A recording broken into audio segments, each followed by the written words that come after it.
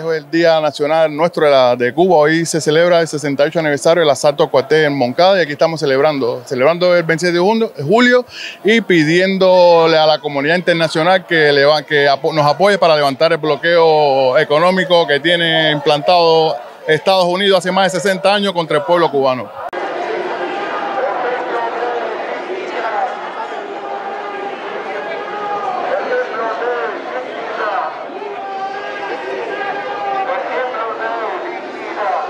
Necesita apoyo en estos momentos. Ha hecho un ejemplo de solidaridad en los momentos más difíciles, después de 62 años de bloqueo, y no podemos dejarla atrás. Es un ejemplo para toda la región. Estamos orgullosos de lo que está haciendo el pueblo cubano.